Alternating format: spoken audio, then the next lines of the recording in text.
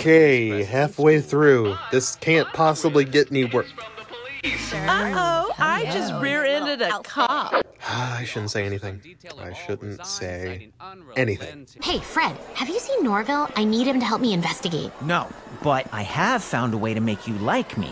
I really don't understand why Fred wants Velma so bad. She's like the worst person on earth. I guess Fred in this show just has a thing for psychos.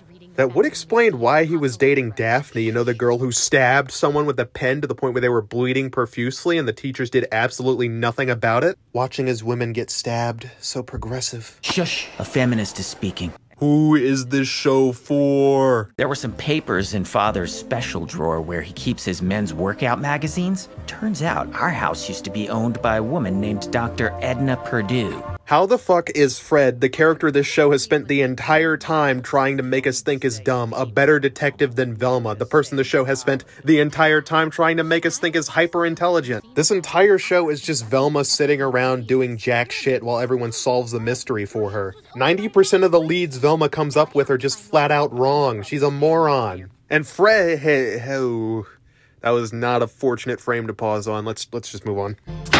Norville, you have a girlfriend? Oh my god. Maybe I should spend less time with you. Less time, but I only see you when I need you as is. Why'd they have to make her such a horrible person? Like, for fuck's sake. Fine, great. No sweat off my underboob. No sweat off my underboob. Mindy Kaling, National Medal of Arts winner. Velma, give me the chance and I can help you with anything. Uh, well, except filling in your ethnicity on a form. I'm guessing Samoan? I don't even think the show knows at this point. Especially after wasting years pining for that bossy one. What was her name? Meatball? I actually heard Meatball was really cool and beautiful. It's funny how narcissism is the most consistent trait Velma has in this show. Also, Meatball is such a beautiful nickname for this Velma. Thank you, show, for giving me that. I will use it constantly. I, I would, but all I can think of right now is the gender pay gap. Is it funny? Women make 20% less than men, and women of color even less? I can't stop laughing.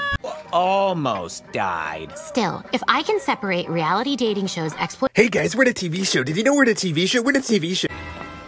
Okay, remember to take your pill with food, and absolutely no getting murdered after curfew, young lady. I love how the show has to constantly remind us about the murders because we've probably forgotten since they're wasting our time with all this pointless bullshit. Hey guys, don't forget, there's a plot happening. I, I know it doesn't seem like it, but, but yeah, it's there uh, sometimes, I guess.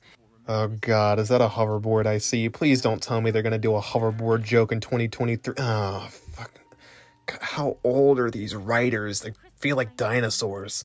I would like to take this moment to talk about something I actually like in Velma. That's right, I'm about to praise Velma. It's been established that Daphne is just kind of a lunatic, so her having a knife taped to the back of her computer is a subtle bit of characterization that I think is actually pretty funny. If this was in a better show with original characters, I might actually like this. But unfortunately, again, it's like sprinkles on a dumpster fire, it just can't save it. Night to ourselves! Time, to, get, freaky! Are these writers incapable of making characters who aren't sex freaks? I mean, I can understand having like one of those types of characters, but when everyone's like that, it gets really annoying. Daphne? Velma, I may have found my real You haven't seen Norville, have you? He's like the only dork in town not inside my house. No! It's funny how Daphne's side plot is so irrelevant that not even the other characters in the show care about it. Honestly, can't say I blame them. For some reason you've chosen Gigi, a beautiful girl who puts out, over your angry friend. Friend is a really strong word in this relationship.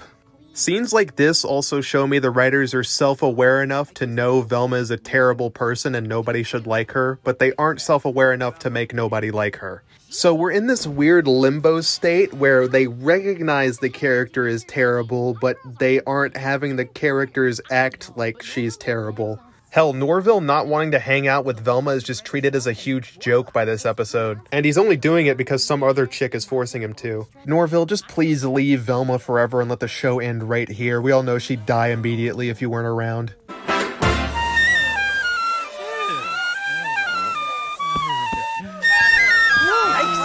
Should we stop them? Devin just unplugged his cochlear implants.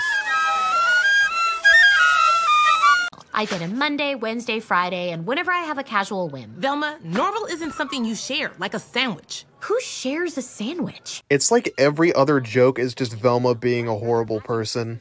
She's also a massive hypocrite because she keeps talking about how she wants people to respect how cool and beautiful she is, while she also treats everyone around her like shit, especially her friend Norville, who's done nothing but help her. She literally treats Norville like an object that she can just use whenever she wants. She's a narcissist with no respect for anyone but herself. I just learned about it a few days ago, and the truth could ruin my mom's life. Your mom's a high school principal married to a guidance counselor. It can't get more ruined than that. Wow, what an asshole. Wait, I found a bag of salad. Wait, she knows what a salad is?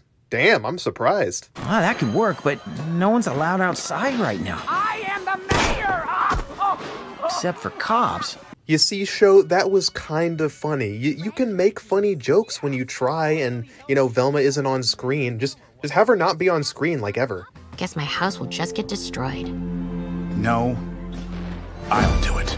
No, Norville, I told you if you do any more simping for her, we're through. Gigi, I'm not doing this because I'm simping for Velma. I'm doing this because it's the right thing to do. I'm simping for myself. You're a fucking idiot. Me? But I do everything around here. Fuck you, fuck you, fuck you, fuck you, fuck you. You know that's not true. Literally everything that's happened in this episode was due to somebody who's not Velma. Every advancement in the story, literally everything except the fact that a band meeting happened was due to people who were not her. God, you fucking narcissistic. Namaste. Peace, calm, serenity.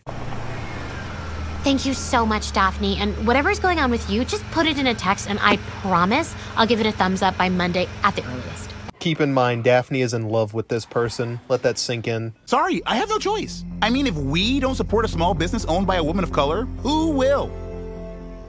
Wow, Norville. You're not just a better friend than I am, you're a better person. Never a truer word has been spoken, brother.